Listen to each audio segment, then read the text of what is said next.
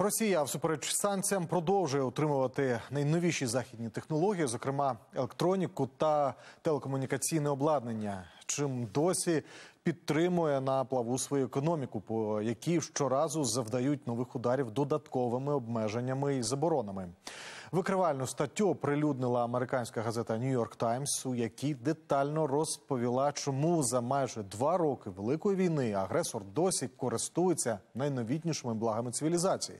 Складні схеми тюньового імпорту намагалася розплутати Анна Басова. Завод Hyundai Motors у Санкт-Петербурзі не працює від березня 2022 року.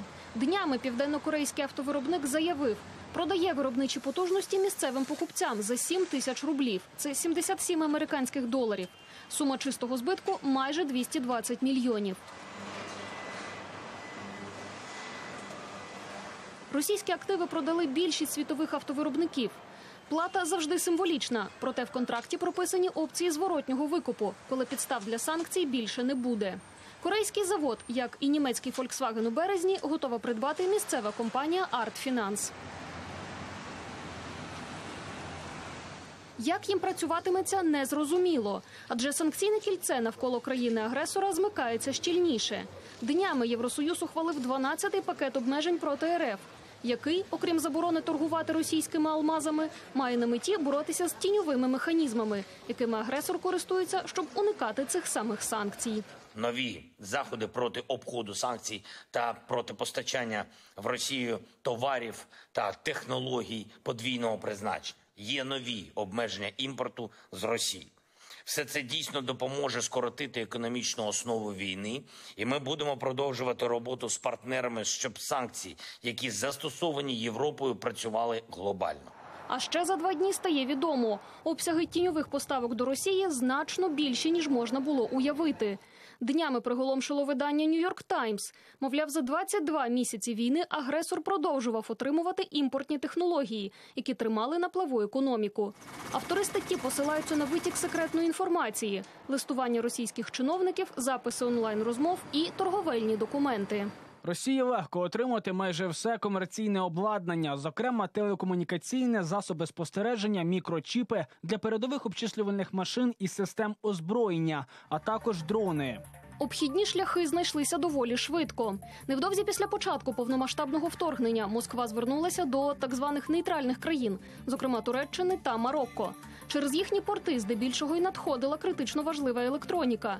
Товари просто перевантажували на інші судна, які прямували до РФ. Гнучкість була найважливішою. У щотижневих електронних листах російські торгові чиновники ділилися порадами про те, які порти перевозитимуть товари, хто торгуватиме в рублях і де можна ремонтувати кораблі під російським прапором. Свідчать документи. Зокрема, через Марокко російський дистриб'ютор ProSoft отримав обладнання для біометричного спостереження. Аналіз їхніх пропозицій показав, майже 300 найменувань продуктів містять імпортні чіпи. Свою причетність підтвердили у марокканському порту Танжер Мед. Проте заявили, здавали в оренду свій простір судноплавним компаніям. А відтак відповідальності за судна, що рухаються через їхні води, не несуть. І про незаконну логістику підсанкційних товарів, начебто, не знали. ProSoft також підтримував постачання західних технологій, зокрема мікрочіпи від Texas Instruments, Intel і NXP за допомогою маловідомої компанії з металобрухту, зареєстрованої в Касабланці, Марокко.